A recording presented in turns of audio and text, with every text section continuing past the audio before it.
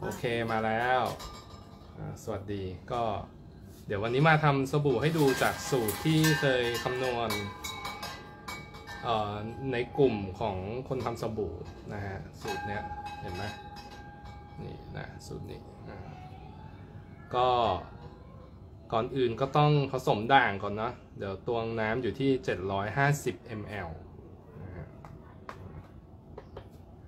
750พรึบ เห็นไหมอ่า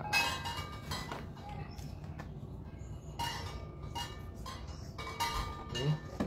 เดี๋ยวนะ เฮ้ยเฮ้ยสีสวยจริง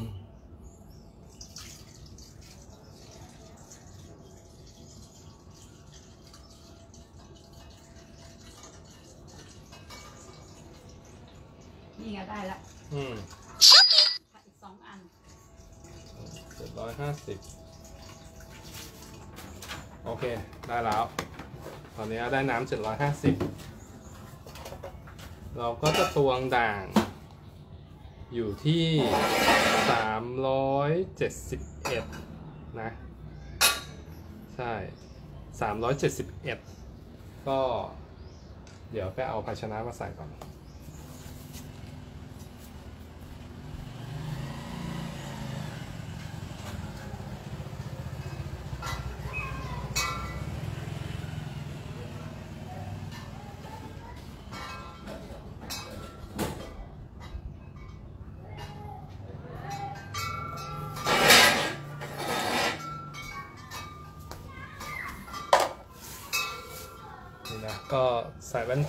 ดีด้วยนะ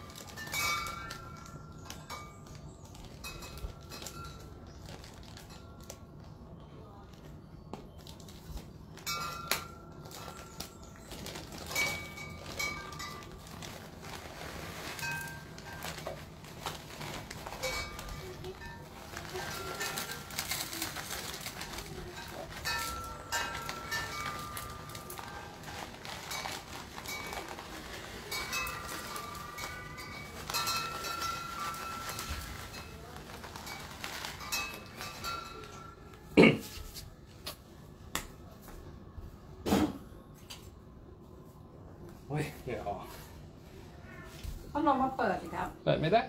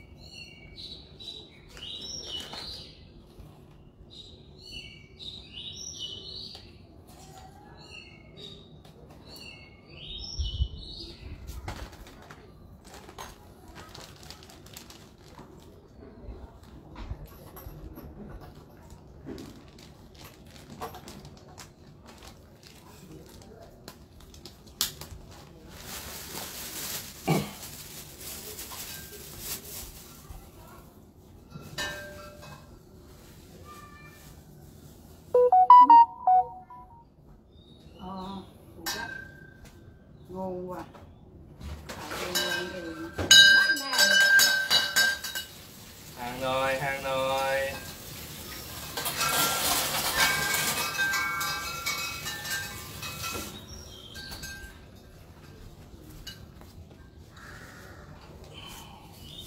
เอาละเราก็ได้ 371 แล้วนะ นี่เราก็จะผสม น้ำ กระด่างเข้าไปด้วยกันเห็นไหมเนี่ย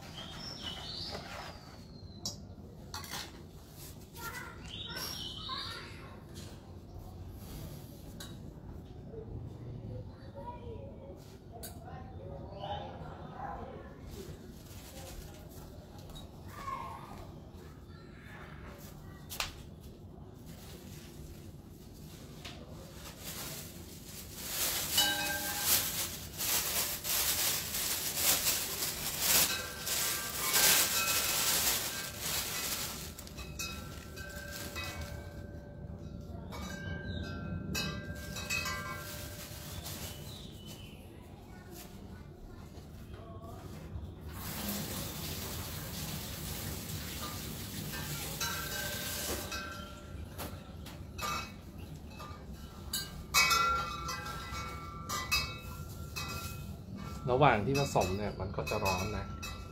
ก็เดี๋ยวเราก็จะทิ้งไว้ให้เขาคลายความร้อนนะครับ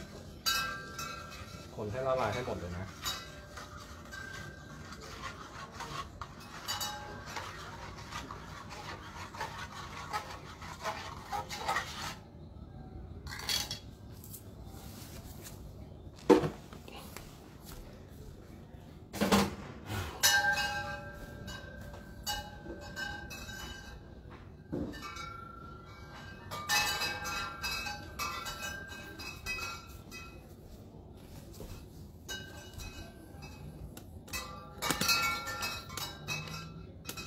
เนี่ยทำเป็นสบู่แบบโคโพเซตนะครับ แต่ว่าใส่น้ำมันมะกอกด้วย เพราะนั้นเดี๋ยวจะปล่อยให้ไอ้เจ้าน้ำด่างเนี่ยคลายความร้อนสักแป๊บหนึ่งแล้วก็จะใช้เลยนะ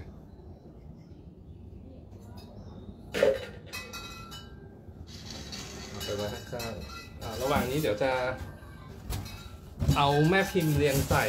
กล่องโฟม ทำให้ดู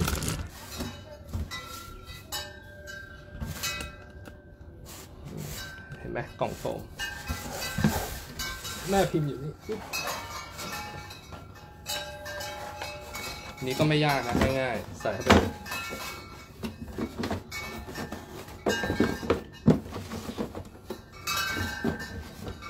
อะประมาณนี้ เดี๋ยวทำเสร็จแล้วเท เทเข้ามาในแต่ละร่องนะครับ ปิดฝากล่องฟมไว้ก่อนหลบไว้ข้างๆ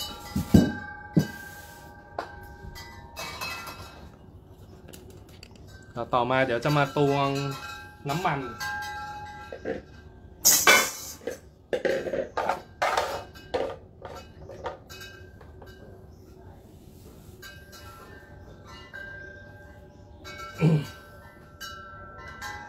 ก็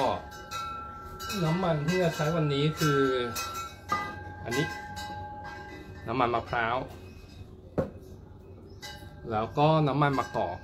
นะฮะน้ำมันมะกอก ก็ เดี๋ยวเราต้องดูสูตรก่อน ว่าสูตรที่เราใช้เนี่ยน้ำมันทั้งหมด 2,500แบ่งเป็นน้ำมันมะพร้าว 925 นะครับ 925 เทเลย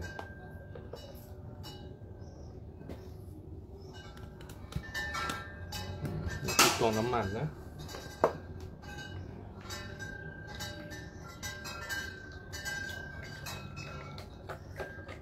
เฮ้ย อันนี้ทำไมสลับมันวะ น้ำมันไม่พอเดี๋ยวไปเอามาเพิ่มนะ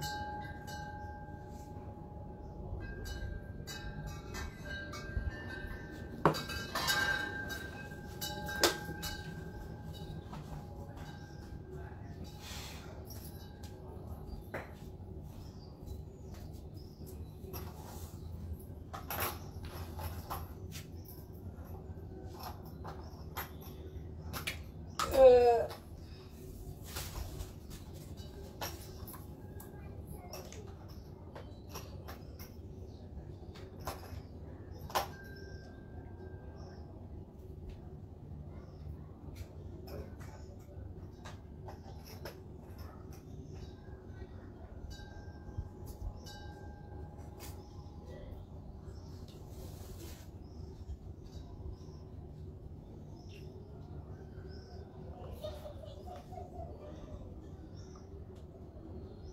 อะได้ละ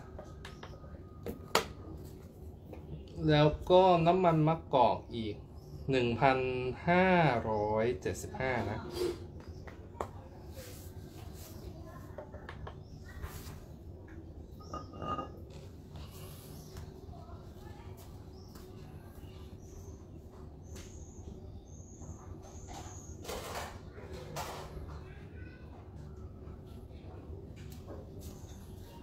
เฮ้ยเอาน้ำมันทำครัวเว้ยใช้หมดเลยนะ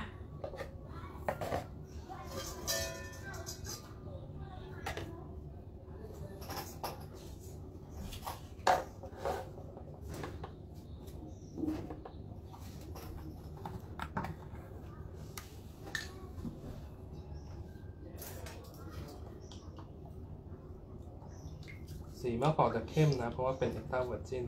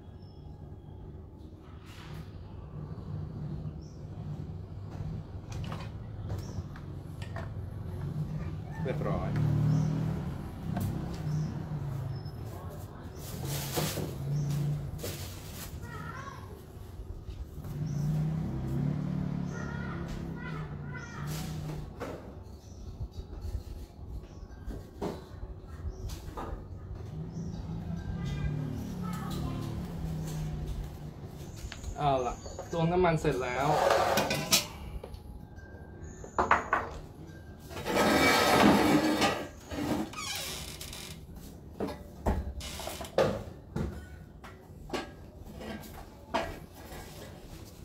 เนาะมันนอนในตรงนี้อะลูกเจ็ดร้อยห้าสิบสามร้อยโอเค ทุกอย่างตวงเสร็จตามที่คำนวณไว้แล้วนะ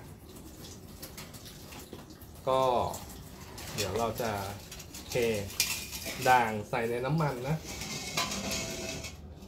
ดูซิว่าด่างละลายหมดยัง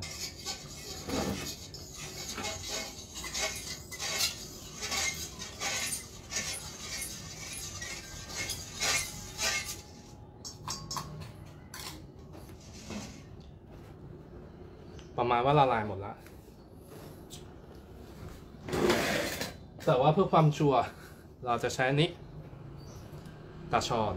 กรองนะฮะมันอาจจะยังมีเศษที่ละลายไม่หมดเนาะเราก็จะกรองเดี๋ยวนะขอเอาน้ำมันเทเข้าด้วยกันก่อน เห็นไหมนี่อยู่ประมาณนี้นะเทน้ำมันเข้าด้วยกันทำไมภาชนะไม่พอเหลือหยดจมูกเห็นเลย อืม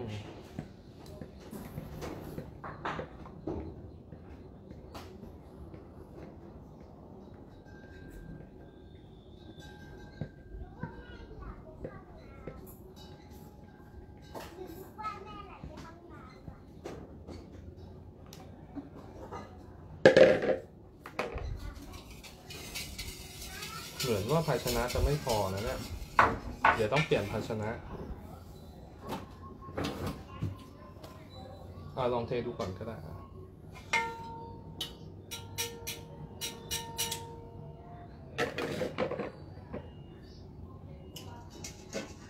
ร้อน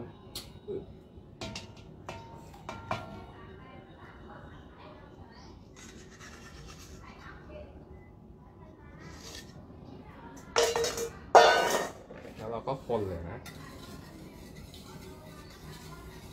โหจะล้นเลย นไปก่อนแล้วกัน ไม่ได้ ไม่ได้ ล้นแน่ๆ เดี๋ยวเปลี่ยนภาชนะก่อนอึ๊บ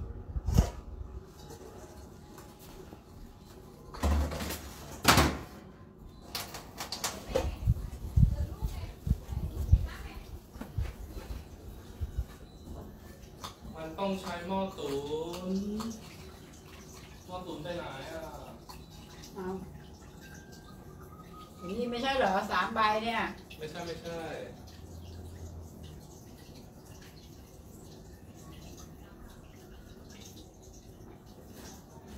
เอานี้ก็ได้อะ เดี๋ยวใช้นี้แทนรอบนี้เนี่ยคือลืมไปว่าสูตรนี้มันต้องใช้หม้อตุ๋นนะ แต่ว่ารอบนี้ทำ CP ภ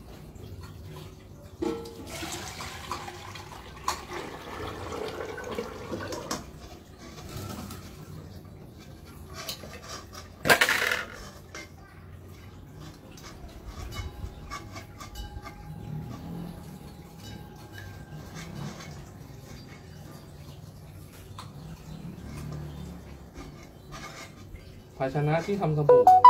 แล้วเนี่ยต้องแยกนะ จะไม่เอาเอากลับไปทำกับข้าวแล้วนะอะไรวะหมวกเนี้ย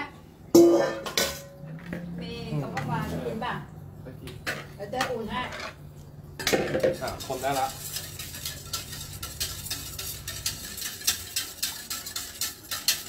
ไม่เห็นจะเป็นวัยรุ่นเลยได้เลย แต่ตอนนี้จับดูภาชนะก็ร้อนนะ เพราะว่าเราเทด่างที่มันร้อนลงไป คือปกติแล้วเนี่ยโคโคเซตต้องทำให้มันเย็นนะ แต่ว่าอันนี้ใช้น้ำมันมะกอกเยอะ ซึ่งมันจะเกิดปฏิกิริยาช้า ก็ใช้ความร้อนเข้าช่วย อันนี้เริ่มจะเป็นไลท์เทรสแล้ว เดี๋ยวล้างมือแป๊บ หน้าเป็นไม่เหลืองก็แปลก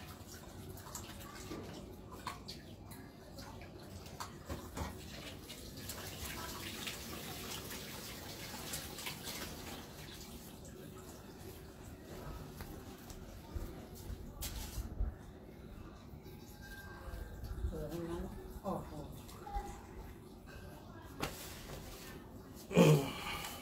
คนต่อ เราก็จะคนอย่างเงี้ยไปเรื่ อยๆครับ จนกระทั่งมันเป็นมีเดียมเทรดก็คือข้น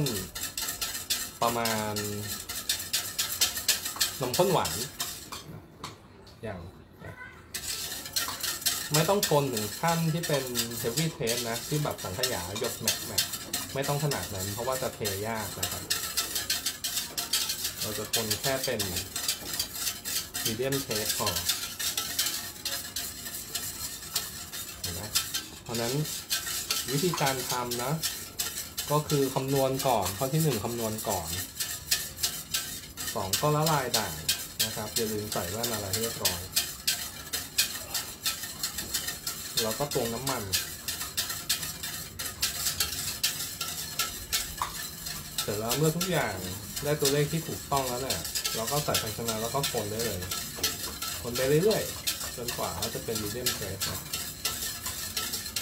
เดี๋ยวจะคนอีกแป๊บหนึ่งถ้ารู้สึกคนไม่ไหวแล้วจะเอาเครื่องมือมาช่วยปั่นนะครับมีเครื่องปั่น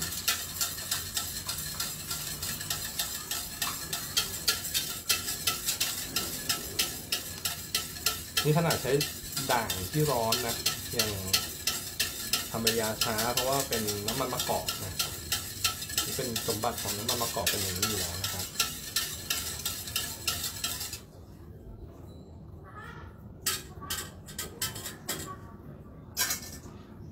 อืมไอ้ ตรงนี้มันยังเหลือนิดหน่อยแล้วเทให้หมด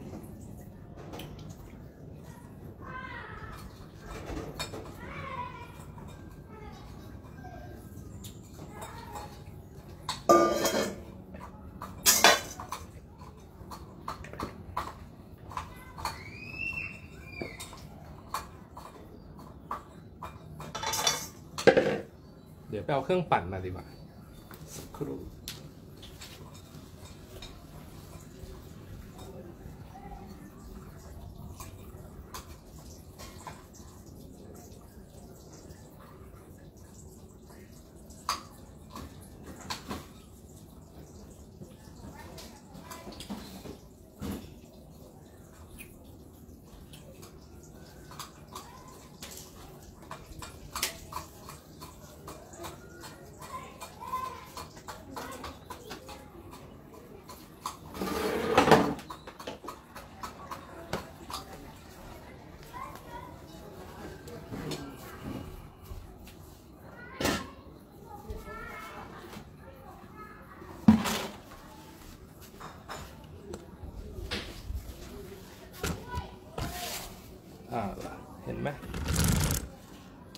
ใช้เครื่องปั่นก็ต้องย้ายที่นิดหนึ่ง อันนี้คือที่ปั่นนะฮะแล้วก็ใส่เข้าไปเลย ระวังฟองอากาศนิดนึงปล่อยออกมาก่อน แล้วก็กดปั่นได้เลย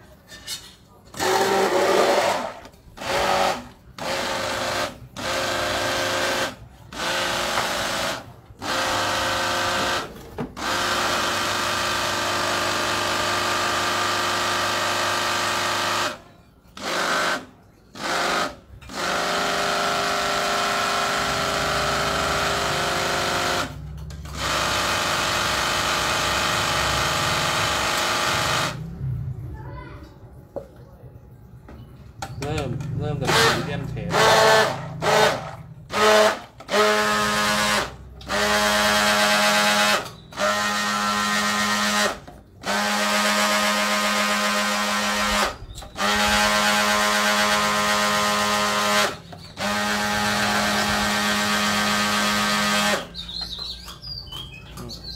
ใช้เครื่องปั่นก็แป๊บเดียว ถ้าคนก็ประมาณสักครึ่งชั่วโมงได้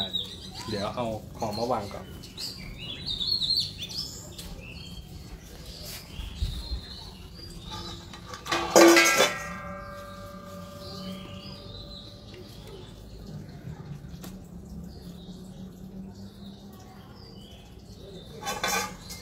ลองดูสภาพ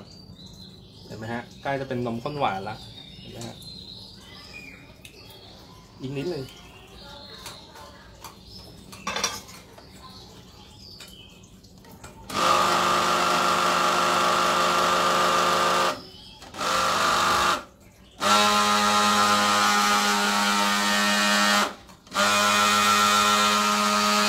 อาละพอละเนี่ย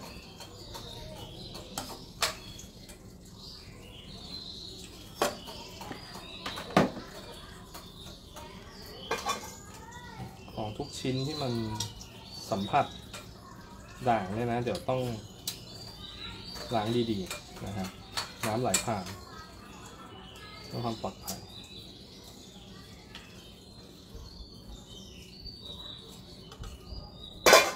เอาละคนไปอีนิดนึง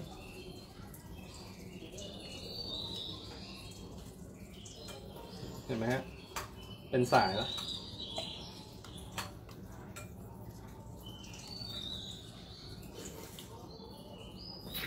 ดูแล้วสบู่ก้อนนี้อาจจะค่อนข้างนิ่มนะ ดูจากสภาพแล้ว แต่ว่าเรากะว่าจะบ่มไว้ประมาณสักสามเดือนเลยแล้วเดี๋ยวค่อยใช้ ต้องดูสภาพ ถ้าดูสีเนี่ยความเป็นน้ำมันจะลดลงแล้วนะ ความวาวเนี่ยจะลดลงแล้ว เราก็มีความเป็นสบู่นะครับ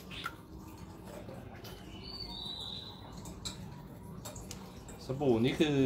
เกลือ เกลือด่างนะครับ เกลือเบส มีค่า pH ประมาณ 9 หรือ 10 นะ ตอนนี้เราจะมีกลิ่นน้ำมันมะกอก เดี๋ยวนี้น่าจะเทยาก เดี๋ยวเราจะใช้ตัวช่วยย้ายกลับไปที่เดิมตรงนี้ที่เหมือนกัน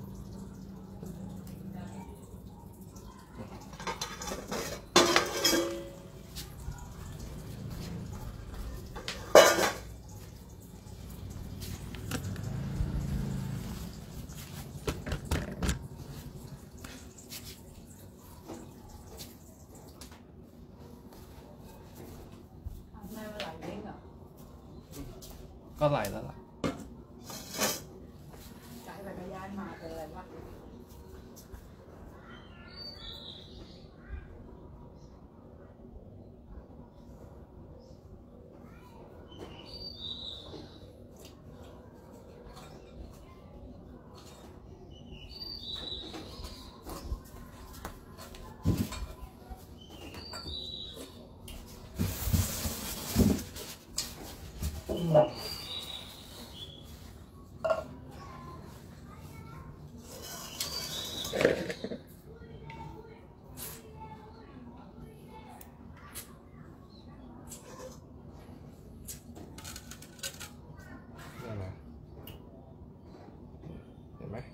นสายแล้วตอนนี้เป็นสายแล้วพร้อมที่จะเทแล้วนะครับ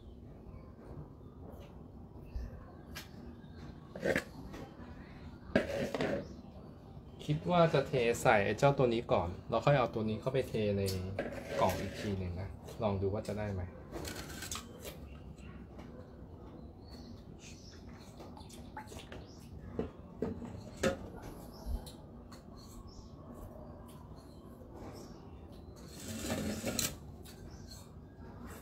อืมเห็นไหมอ่าได้อยู่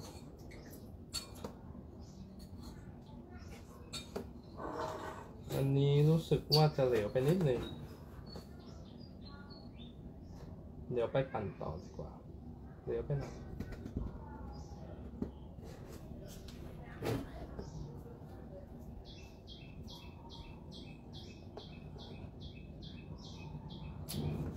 เอาเดี๋ยวนี้เทเอาเลยลูกอืม เทเลย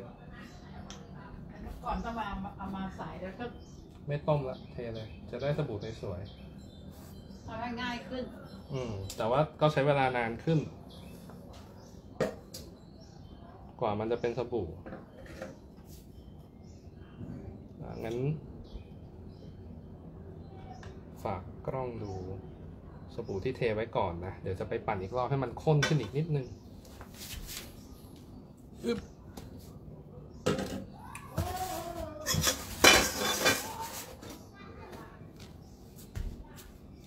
อืมปั่นอีกรอบ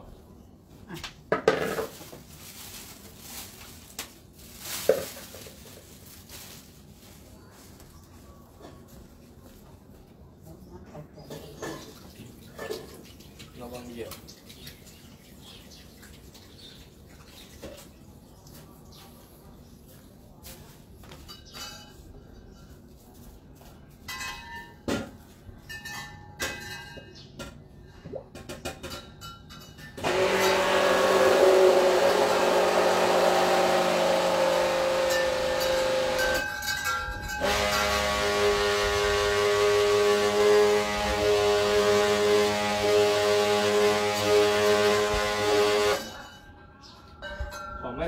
จ้า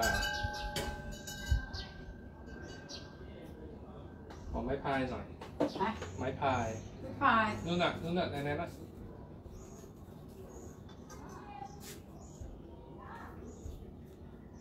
จริงๆ ยกยกเหล็กมาเลยทั้งอัน อะยกเลยกันเลอะหนึ่งบาทก็ยกดีๆดิ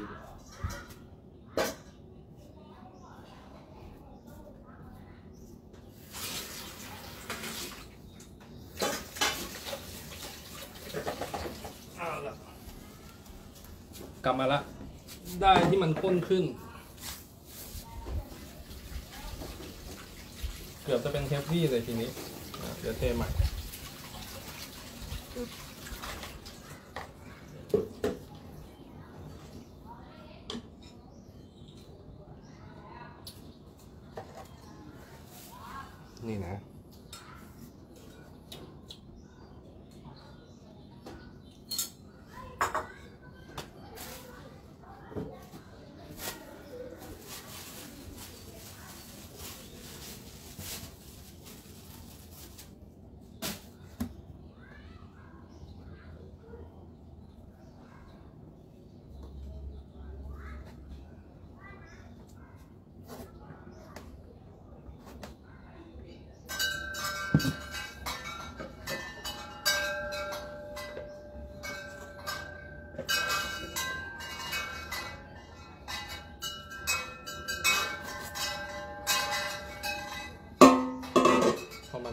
วี่เราต้องรีบเทนิดหนึ่ง เดี๋ยวมันแข็งแล้วจะเทยาก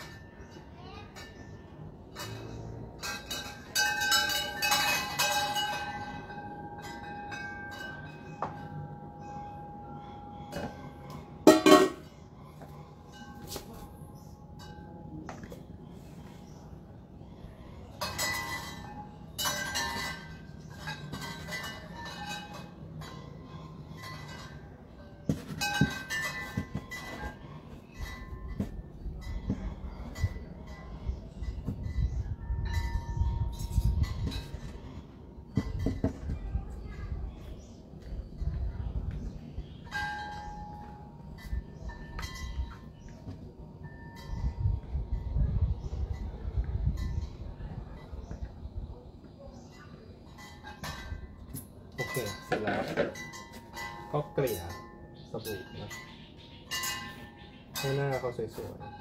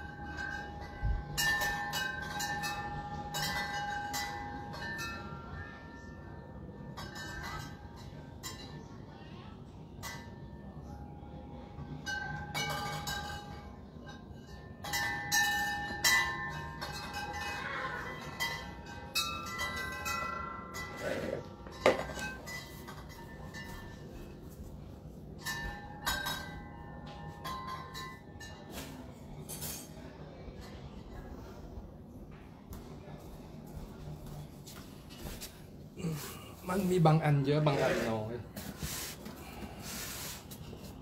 ก็ต้องปักแบ่ง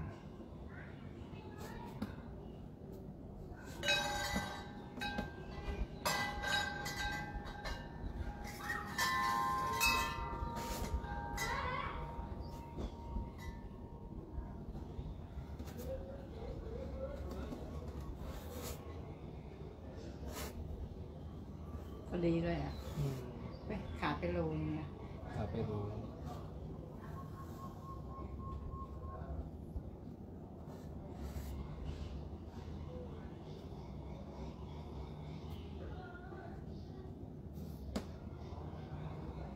นี่คือข้อ ดีของการทำ CP นะ สบู่มันจะสวยแล้วเราก็เกลี่ยได้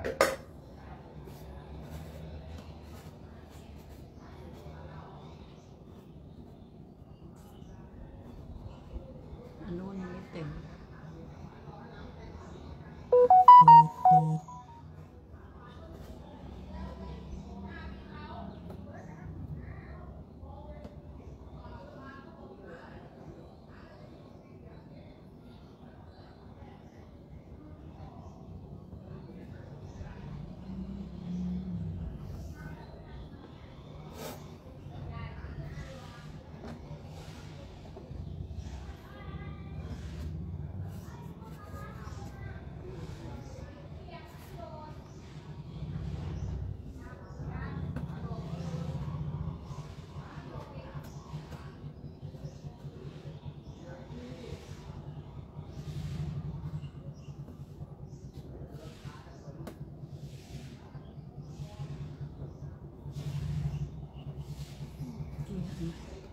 เกียร์ฮะ อะไร เกลี่ยตรง ไหนเนี่ยมันขึ้นเคเลยด้วยต้องเกียร์แบบเรียบๆนะลูกเออ ใช้สันนี้สิ สันเต็มเนี่ย เออนานนานนานลูก ถูกต้องให้หัวหน่อย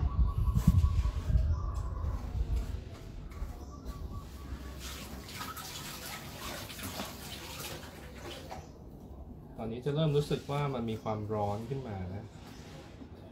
เพราะว่าสบู่เริ่มเซ็ตตัวแล้วจะมีความร้อน นี่คือสาเหตุที่เราใส่กล่องโฟมนะฮะ เพราะว่าเราจะใช้ความร้อนของเจ้าตัวสบู่เนี่ยแหละตอนทำปิยาเนี่ยทำให้เขาป่งได้ที่ แล้วก็เกิดปิยาเป็นที่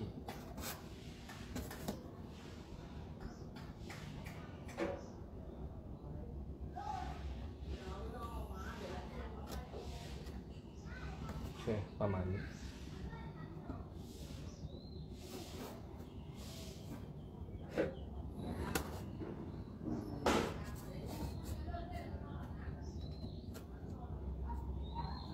เ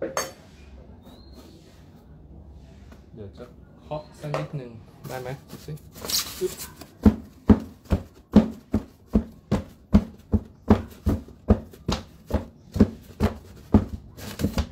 จะเห็นว่าด้านเนี้ยไอ้ก้อนเนี้ยเนี่ยนะฮะ มันเหลวเหลวกว่าก้อนอื่น เพราะว่าเราเทไปตอนที่มัน ยังเป็นมีเดียมเทรดบางๆอยู่นะก็เดี๋ยวลองดูสภาพแล้วกันว่าตอนเป็นสบู่แล้วจะเหมือนเพื่อนไหมนะครับเปรียบเทียบ เอาล่ะปิดฝาได้